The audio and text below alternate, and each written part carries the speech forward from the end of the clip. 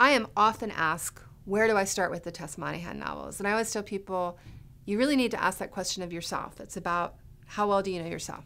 Are you super anal retentive? Do you have to start at the beginning and go in order? Then that's easy. You start with Baltimore Blues, the first Tess novel. I always feel, and I think every novelist feels, a little trepidation about their first novel after many years of writing others, but just trust me, Tess and I both got better at our jobs, but we, we started out okay if you kind of want to meet Tess at that moment when she's gotten her feet wet, she's starting out as a private detective, she's working in sort of that traditional Philip Marlowe mode, I, I like The Sugar House a lot.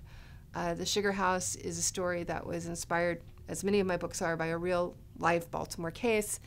And I think it's kind of a classic. So I guess if you're a classic, you start with The Sugar House. I believe that no Good Deeds is a good entryway to sort of what I'll call later Tess, where she's matured a lot. Her relationship has finally found some stability. I'm being a little careful there because even talking about her relationship can be a bit of a spoiler. And it's a really quintessential Baltimore story. You know, one thing, one thing about writing detective fiction in Baltimore is that my stories don't tend to be true to life because the true story of murder in Baltimore is the story of essentially anonymous young African American men being killed every week. And I felt, as someone who is so closely identified with the city of Baltimore, I had to take that on for at least one book. And I did that in No Good Deeds.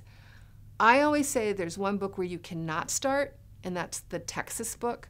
I feel like the Texas book is you know, Shakespeare had Measure for Measure, which is called his problem play because they don't know how to classify it. Sometimes I think In Big Trouble is my problem book, and I'll say, oh, you couldn't possibly start there, except I know that readers who have and quite liked it. So you can probably start anywhere, but those are my picks.